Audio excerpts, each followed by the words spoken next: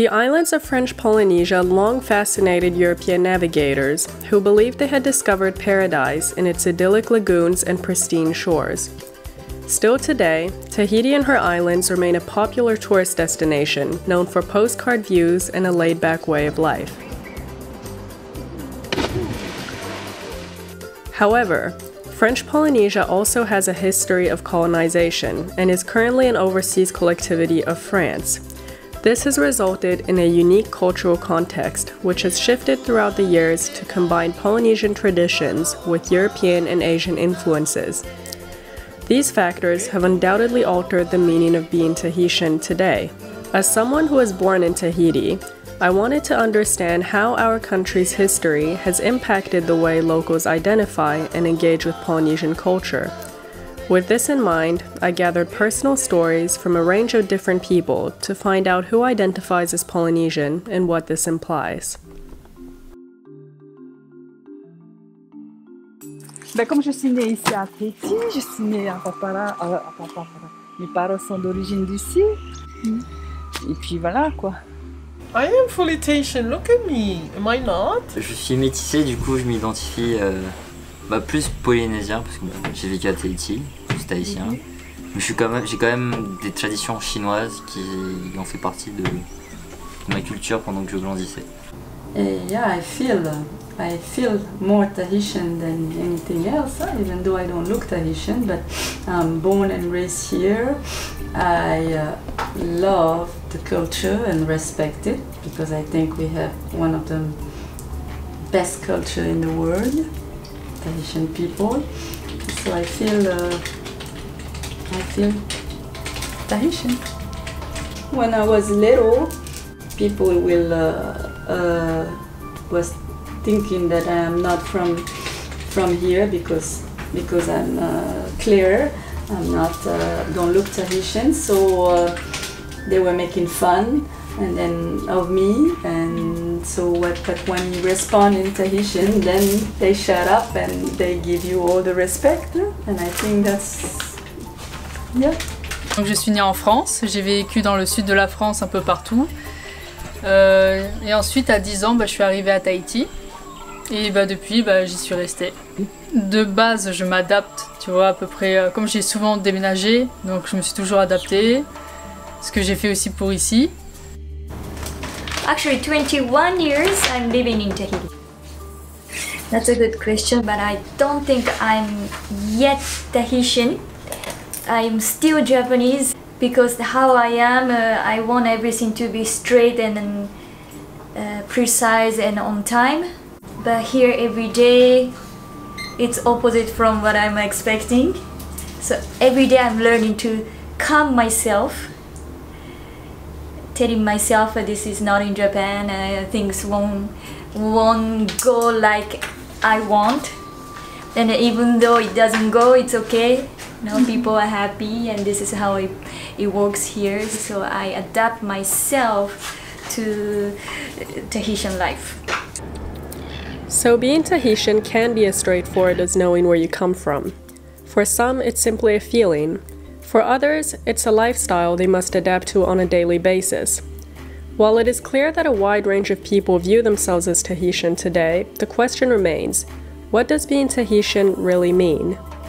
Euh, Qu'est-ce que ça signifie d'être polynésien Je me suis jamais posé la question, je vais pas te mentir. En fait, c'est c'est plus dans le mode de vie. Et euh, bah, dans, les, genre, dans la culture tahitienne, c'est bah, c'est plus comment j'ai été éduqué, comment je vis, comment je réagis à des trucs. Genre, je suis pas. C'est plus un mode de vie tranquille, coolasse. Ouais.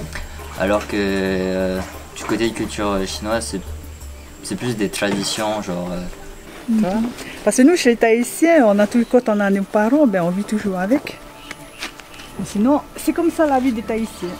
Euh, je pense que n'y a pas un stéréotype polynésien. Je trouve qu'on est né euh, avec euh, l'ADN unique. Donc pour moi, on est tous uniques.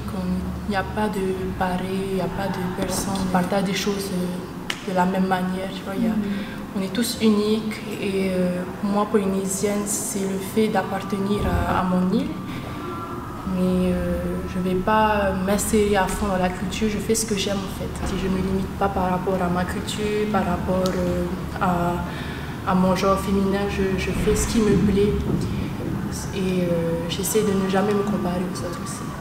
So, although the way each individual chooses to express their cultural identity is unique, the experience of being Tahitian goes hand in hand with a lifestyle which is both relaxed and centered around communal values. In addition to this, I wanted to find out about the specific ways people engage with Tahitian culture. Already speak the language, know your culture, um, practice like dancing, meeting, always go with the tupunas, go yeah. in the island because that's where they are.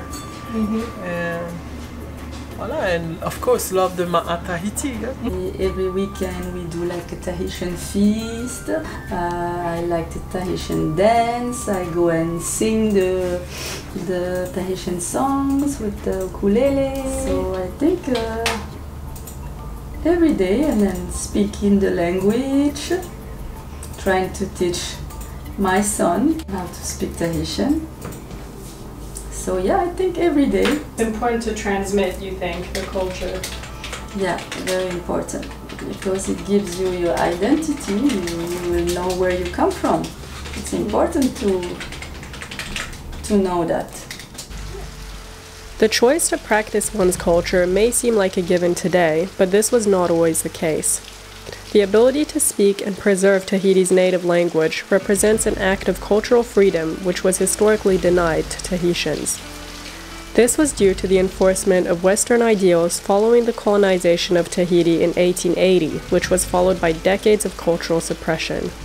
C'est vrai, j'ai un problème, je, ne parle, je parle très mal mon tahitien. Pourquoi? Parce que ma famille, on est euh, une famille plutôt euh, français. Et euh, chez nous, il était interdit de parler le, tahitien. Il fallait qu'on parle le français, c'était interdit aussi bien à la maison qu'à l'école. Et ma mère, qui est pourtant qui, parlait que le tahitien, elle était obligée d'apprendre le français pour pouvoir nous éduquer. Et j'ai commencé à apprendre le tahitien qu'à l'âge de 20 ans.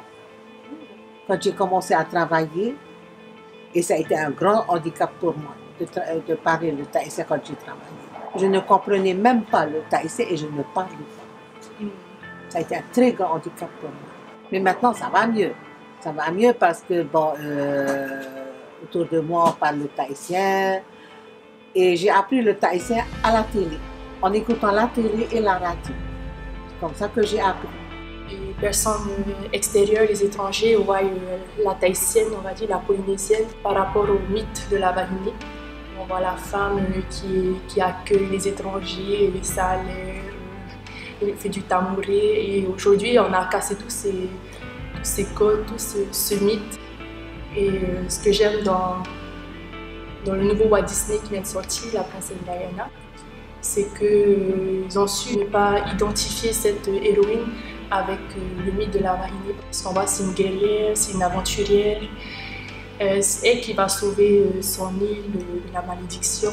Et j'aime bien le fait qu'ils aient sorti une autre facette de la femme polynésienne. Et c'est pour moi une révolution que de faire ce genre de film. As we have seen, promoting Polynesian culture through local media can be an important learning tool.